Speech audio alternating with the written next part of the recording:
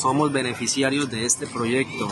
La Contraloría General de la República alertó sobre problemas con subsidios de vivienda, donde los retrasos en los proyectos han afectado a más de 21 mil personas beneficiarias que aún no han recibido su casa del programa de vivienda gratuita 2 del Gobierno Nacional.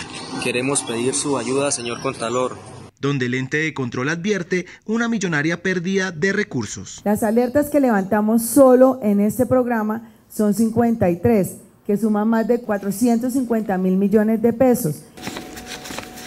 Recursos que fueron destinados para la entrega de más de 6 mil viviendas. Este ha sido un proyecto del año 2015. A beneficiarios que en algunos casos fueron evacuados por estar en zonas de alto riesgo y que están volviendo a sus antiguos hogares exponiéndose a tragedias como la ocurrida en Pereira. Hemos identificado que las personas al no cumplirse con la entrega de la vivienda están retornando a las viviendas que se encuentran en alto riesgo.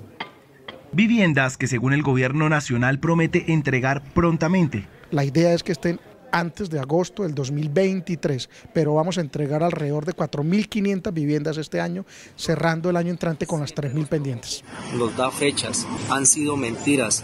El ente de control alertó que son 53 proyectos afectados por demoras y los departamentos que más alertas presentan en la entrega de viviendas son Cesar, Tolima, Boyacá y Córdoba. Desde Bogotá informó Edgar Ramírez.